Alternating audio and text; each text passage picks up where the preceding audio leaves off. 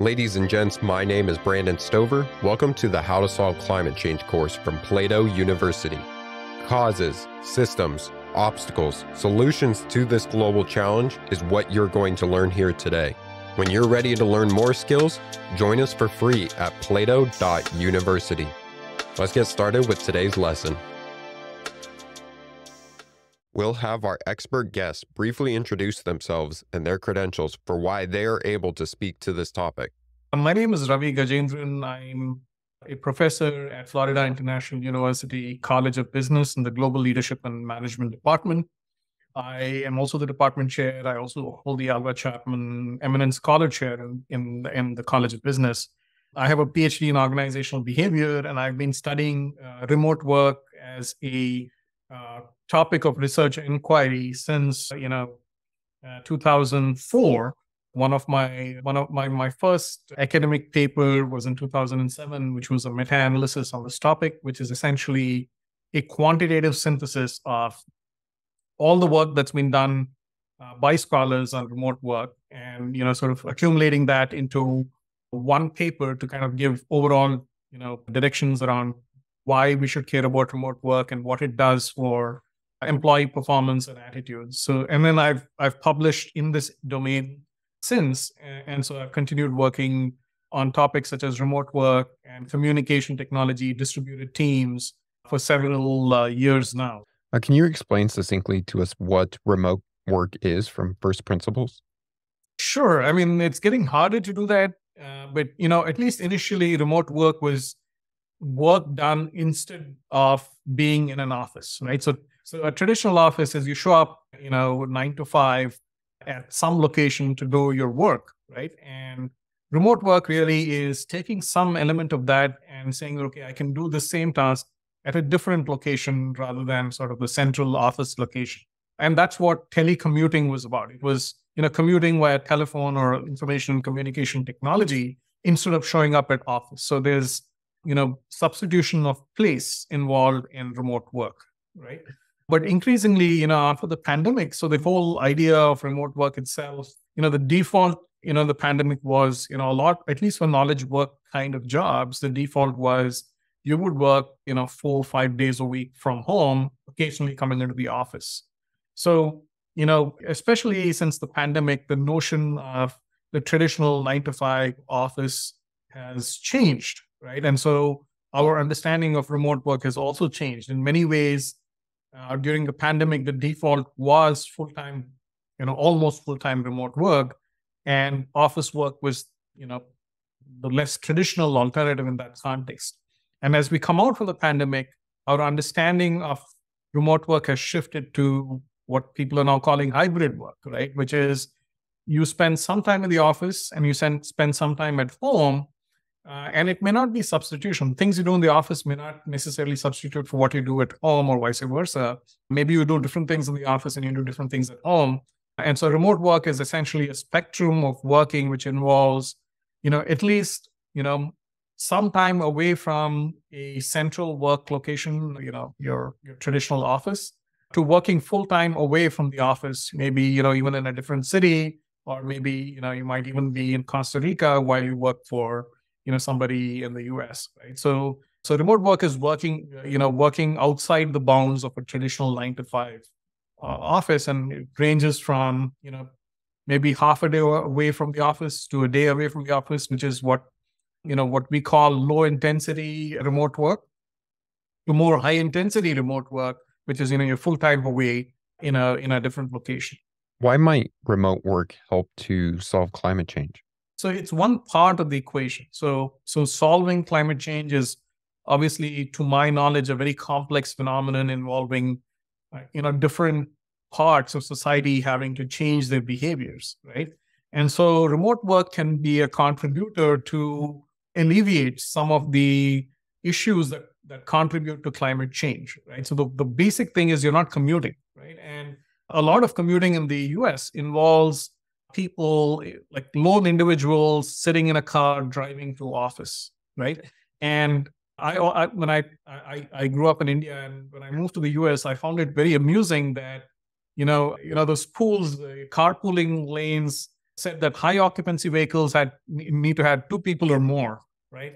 And to me, I found that amusing that two people can make a high occupancy vehicle, whereas you know where where I grew up, you know, you, you were packed like sardines into a bus or a train or you know something, and that would be really what I would term a high occupancy vehicle. So, so to the extent that remote work can help cut down on some of those, you know, carbon heavy commuting, uh, I think it might, you know, it that's one of the primary or more direct ways in which you know remote work contributes to reducing, you know, the carbon footprint, so to speak. The second way in which remote work might contribute is the, especially post pandemic, it's become very normal uh, for remote. So remote work has become more widespread, right? Post pandemic. So more people are doing it. So more people are are commuting less as a consequence. So the scale has gone up. But equally, alongside remote work becoming sort of mainstream, what has happened is it's also become more acceptable to not meet in person, right? It's more acceptable to, you know, have a Zoom meeting instead of, you know, showing up someplace and meeting in person, right? And it cuts down on business travel to some extent. And so the, the, the fact that remote work has become mainstream also means there are associated ways of interacting with others that could potentially reduce the amount of travel that individuals have business travel that individuals have to undertake which could contribute to you know reduction overall in the carbon footprint. So so it's it's hard to quantify exactly what the what the impact is going to be i think but it's going to be a net positive overall right? And and i think as we go forward you know we would have seen a natural if, if things had continued as they are we would have seen a natural uh, growth in the number of people commuting worldwide to work. And i think even though the number of even though I think business travel and people commuting is still growing, I think it won't grow as much as it would have had remote work not been in the picture. So if if anything, remote work may slow down the growth. And you know, if we want to be optimistic, it might actually, you know, lower the overall carbon footprint from prior years. So so we don't know yet. We haven't done the calculation. So I'm just, you know, I'm speculating based on my, I'm extrapolating based on my knowledge base here and that's how I see you know it being part of the the climate change uh, solution. Looking at the other side of it, where may remote work fall short of helping to solve climate change or make things exacerbate the problem? Yeah, so the other aspect of this is remote work increases reliance on information and communication technologies, right? It it makes the it makes us more and more reliant on the cloud, right? So one of the one of the things that are accelerating the shift to remote work is the cloud infrastructure right? And cloud the cloud infrastructure requires uh, very carbon heavy uh, presence of you know servers and you know computing architecture uh, that is energy intensive. So while remote work may reduce carbon footprint through reduced commuting it might it might have an impact somewhere else in terms of you know these it related costs right uh, everybody needs laptops. Everybody needs, you know, computing devices at home.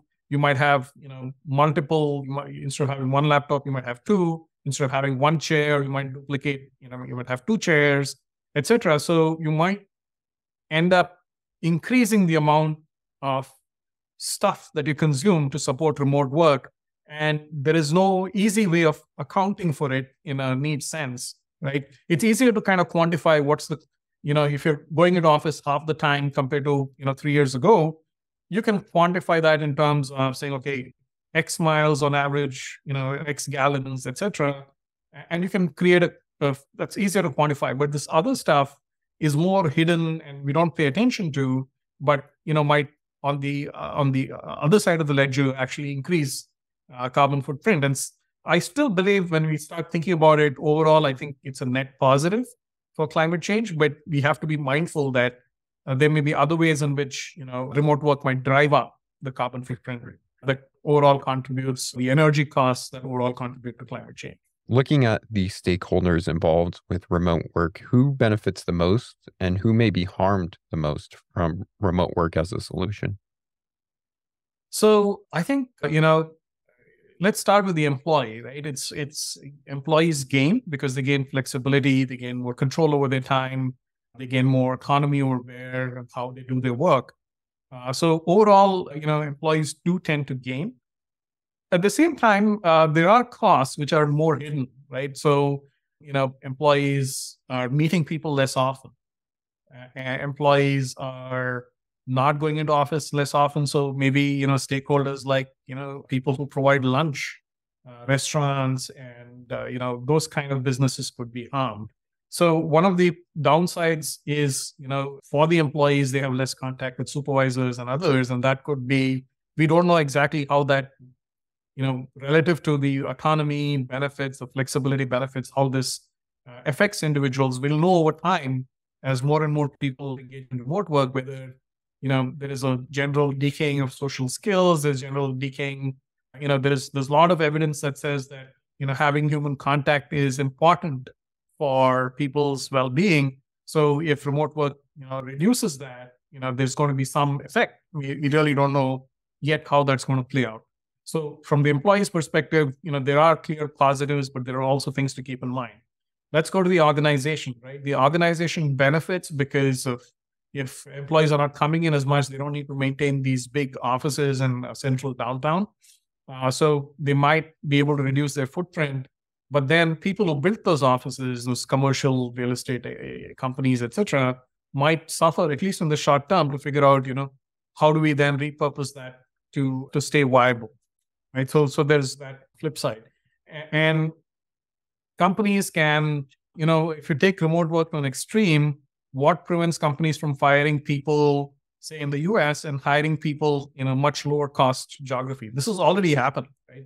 Jobs are outsourced to Philippines, to India, to Brazil, and so on.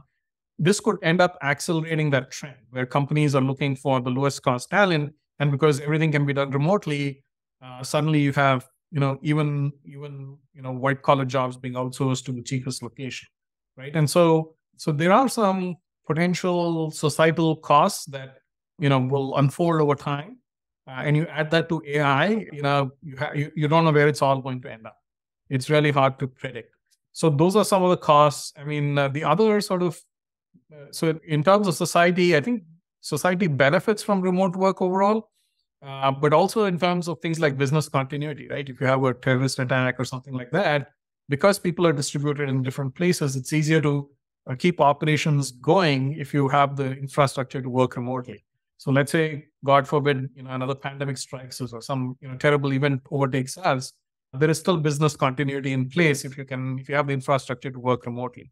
Looking at sort of the nuts and bolts of it, how is remote work effectively implemented as a solution? So maybe the parts to it or the steps to be able to implement it effectively.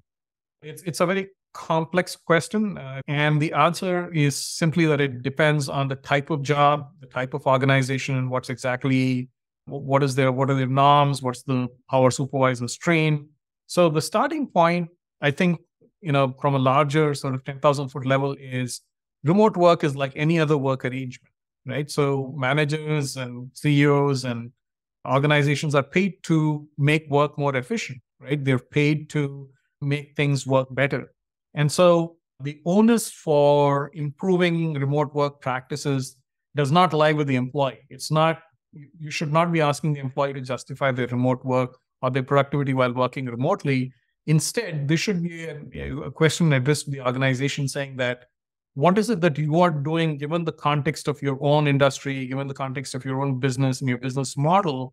What is it that you are doing as an organization in terms of your norms, your culture, your technology, in terms of you know training to both employees and to their managers? What are you doing? Are you thinking holistically about this to ensure that remote work can be effective? Right. And so what is so part of it involves making sure that employees do benefit from the autonomy that remote work provides, right? So one of the temptations is to say, okay, I can't see my employees, so I'm going to monitor them more. So I'm going to use technology to monitor them more. I'm going to use AI to, you know, assess their productivity, track their eyes, how, how long they're staring at the computer. So there's a danger to saying that, okay, I can't see my employees, so I'm going to exert more control, right? And that's the wrong way to go about it. You have to provide employees the autonomy and create systems where trust is the basis for dealing with employees. You trust employees are going are there to do a good job. You create systems to verify that they are indeed doing a good job, but then let them figure out how to do it. Right. So so that's one sort of insight around you know how to deploy remote work effectively, which is you know creating the right infrastructure, you know, social, uh, technological, as well as sort of trust based infrastructure, so that employees can do their jobs better and providing them training and the scaffolding needed so that they can be effective right? Mm-hmm. and so so it really the onus is on managers and leaders to to create that infrastructure that allows uh, remote workers to be more effective. For remote work to be effectively implemented is there any technology or innovation or policy that needs to be put in place to make this a more effective solution?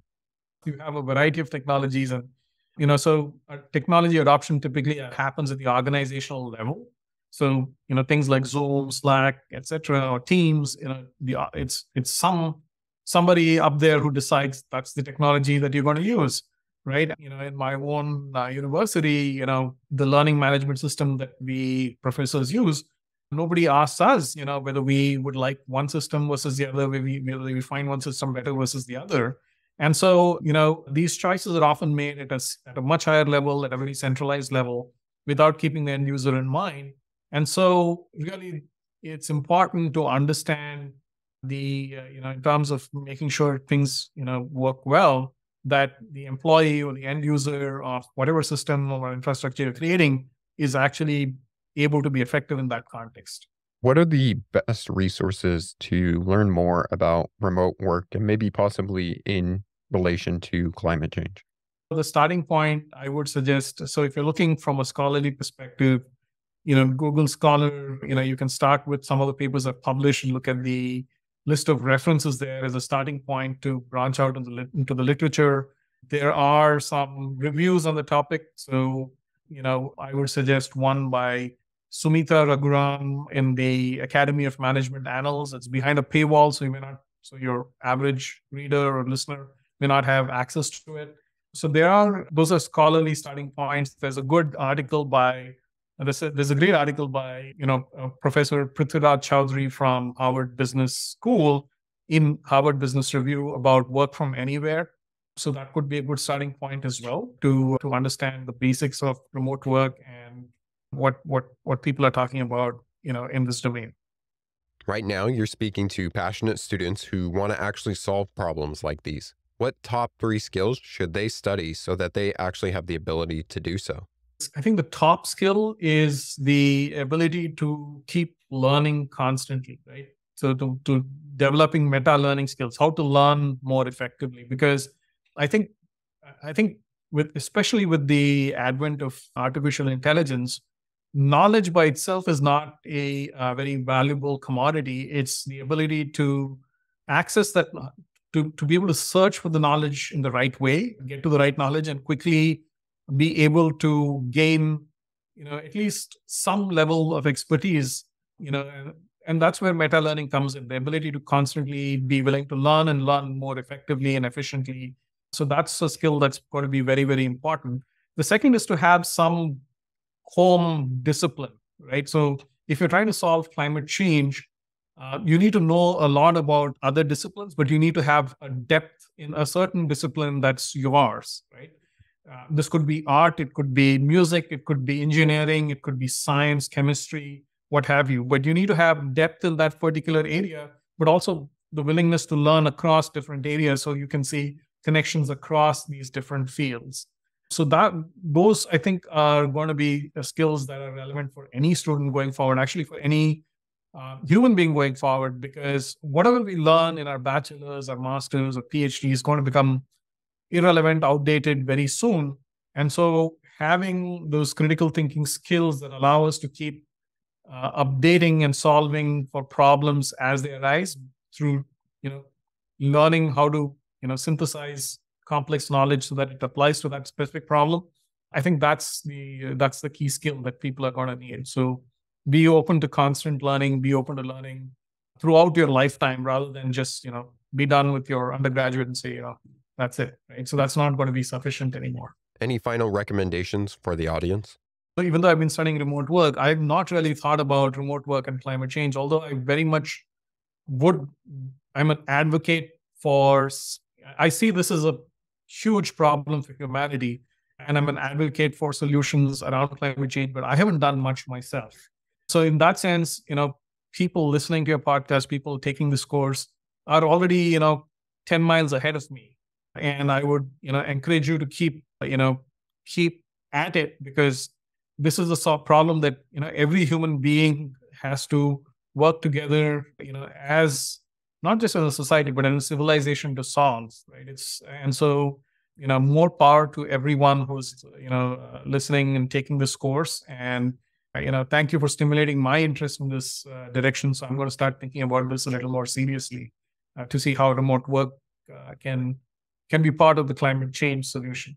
To see the impact remote work could provide, calculate the carbon emissions saved by telecommuting instead of commuting to work or school. Use online carbon calculators and reflect on potential reductions. Thank you for taking the How to Solve Climate Change course. If you want to learn the skills to solve this global challenge, join us for free at plato.university for exclusive content, extra resources, and actionable exercises with every lesson. This course was produced by Plato University, where students turn passions into purpose and learn skills to change the world. Learn more at plato.university.